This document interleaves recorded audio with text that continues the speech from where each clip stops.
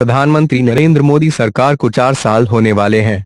इन चार सालों में मोदी सरकार कई मुद्दों पर विपक्ष के निशाने पर रही है, लेकिन सरकार ने कई ऐसे कार्य भी किए हैं, जो कि आम जनता के हित में है। मोदी सरकार के चार साल पूरे होने पर आज हम आपको बता रहे हैं सरकार की ओर से किए गए वो कार्य जो काबिल तारीफ़ है। आइए जानते हैं मोदी सरकार की उपलब्धियाँ।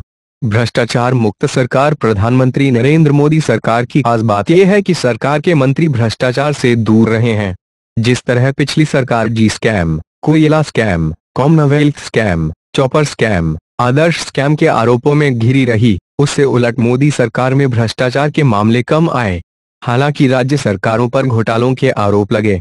जन धन योजना प्रधानमंत्री नरेंद्र मोदी ने साल 2014 में जन धन योजना की घोषणा स्वतंत्रता दिवस के मौके पर की थी।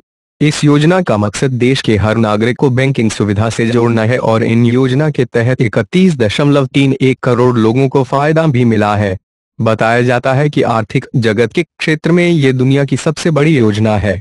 इसने एक सप्ताह में सबसे अधिक एक करोड़ अस्सी लाख छियानवे हज़ार एक सौ बैंक खाते खोलने के लिए गिनीज वर्ल्ड रिकॉर्ड भी बनाया।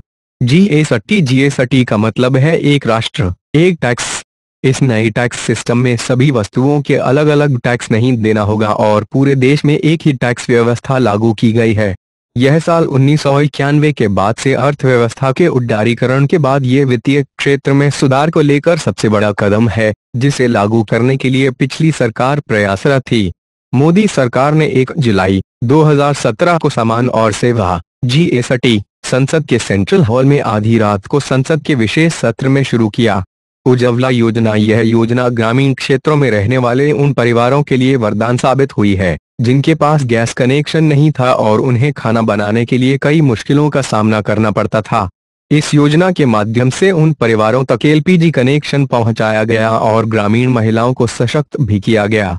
इस योजना के तहत ग्रामीण इलाकों में रहने वाले बीपीएल राशन कार्ड धारकों को मुफ़्त में सिलेंडर दिया जाता है। सरकारी आंकड़ों के अनुसार तीन करोड़ परिवार इसके लाभार्थी हैं। डिजिटाइजेशन की तरह अहम कदम मोदी सरकार ने पिछले चार सालों में डिजिटाइजेशन पर काफ़ी ज़ोर दिया है। अब बैंकिंग क्षेत्र से लेकर अन्य सरकारी कार्यों में डिजिटाइजेशन को बढ़ावा मिला है, जिससे लोगों को काफ़ी राहत मिली है। इसमें मोदी सरकार की डिजिटल भुगतान को आसान बनाने बनाने वाली भीम ऐप भी शामिल है। इस ऐप के तहत पैसे सीधे बैंक अकाउंट में ट्रांसफ़र किए जा सकते हैं। मुद्रा योजना प्रधानमंत्री मुद्रा योजना, पीएमएमवाई, एक गैर कारपोरेट, गैर कृषि लघु लघु उद्यमों को 10 लाख तक की ऋण प्रदान करने के लिए शुरू की गई योजना है। ये लोन पीएमएमवाई के तहत वर्गीकृत किए गए हैं। ये ऋण वाणिज्यिक बैंक, आरआरबी, लघु वित्त बैंक सरकारी बैंक एमएफआई और एनबीएफसी द्वारा दिए गए हैं। उम्मीदवार इन संस्थानों से लोन ले सकते हैं। सरकारी आंकड़ों के अनुसार 23 मार्च 2018 तक कुल दो लाख अट्ठाईस हज़ार एक सौ चवालीस दशमलव सात दो करोड़ रुपए के कुल चार करोड़ तिरपन लाख इक्यावन हज़ार पाँच सौ नौ कर्ज आवंटित किए गए हैं। योजना के तहत कुल दो लाख बीस हज़ार पाँच सौ छियानवे दशमलव शून्य पाँच करोड़ रुपए आवंटित किए गए हैं। आपको बता दें कि इस योजना को 8 अप्रैल 2015 को लॉन्च किया गया था। उड़ान यह मोदी सरकार की अहम योजनाओं में से एक है, जिसका उद्देश्य आम आदमी को हवाई सेवा उपलब्ध कराना है। इसकी शुरुआत 2016 में की गई और करीब 128 रूट पर सस्ती दरों पर फ़्लाइट उपलब्ध करवाई जा रही है। स्वच्छ भारत अभियान इसकी शुरुआत प्रधानमंत्री नरेंद्र मोदी ने अपने कार्यकाल के पहले साल से ही की थी और उसे कामयाबी भी मिली। इस योजना के तहत पूरे देश में सफ़ाई के लिए विशेष कार्य किए गए हैं, जिसमें शौचालय निर्माण से लेकर कचरा निस्तारण भी शामिल है। पहल योजना डायरेक्ट बेनिफिट ट्रांसफर्स के रूप में सब्सिडी सीधे बैंक खातों में जमा कराए जाने को लेकर फैसला किया गया है। इससे लीकेज और किसी हेरा फेरी की गुंजाइश खत्म हुई है। पहल योजना के तहत एलपीजी सब्सिडी सीधे बैंक खातों में जमा कराई जाती है, जिसका गिनीज बुक ऑफ़ रिकॉर्ड में भी नाम दर्ज है। इस योजना के तहत चौदह दशमलव छह दो करोड़ से अधिक लोगों को सीधे नकद सब्सिडी मिल रही है। इस योजना ने करीब तीन दशमलव तीन चार करोड़ नकली या निष्क्रिय खातों की पहचान करने और उन्हें बंद करने में भी मदद की, जिससे हज़ारों करोड़ रुपए की बचत हुई। पारदर्शिता मोदी सरकार में पारदर्शिता सुनिश्चित करने के लिए भी कई काम किए गए, जिसमें कोयला ब्लॉक आवंटन में पारदर्शी नीलामी, पर्यावरण संबंधी मंजूरियों के लिए ऑनलाइन आवेदन कई निविदाओं के लिए ऑनलाइन व्यवस्था की शुरुआत की गई। साथ ही सब्सिडी जैसी सुविधाओं में पारदर्शिता की गई। कौशल विकास प्रधानमंत्री कौशल विकास योजना कौशल विकास एवं उद्यमता मंत्रालय की ओर चलाई जाती है।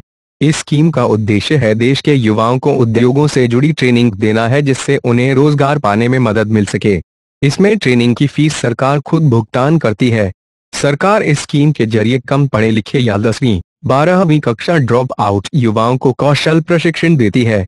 सरकार ने 2020 तक एक करोड़ युवाओं को कौशल प्रशिक्षण देने का लक्ष्य रखा है। मेक इन इंडिया मोदी सरकार ने भारत के निर्माण क्षेत्र को बढ़ावा देने के उद्देश्य से मेक इन इंडिया पहल की शुरुआत की। इसके तहत कैपिटल गुड्स के साथ नई तकनीक और आधुनिकता को बढ़ावा दिया जाता है। इस स्कीम के लिए नौ करोड़ रुपए का प्रावधान किया गया। तीन तलाक और हज यात्रा तीन तलाक पर मोदी सरकार ने ऐतिहासिक कदम उठाया है, जिसका लंबे समय से विरोध किया जा रहा था।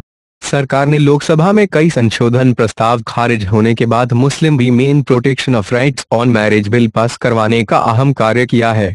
वहीं सरकार ने हज पर दी जाने वाली वाली सब्सिडी इसी साल से खत्म कर दी है, यानी 2018 से हज पर जाने वालों को पूरा खर्च खुद ही वहन करना होगा।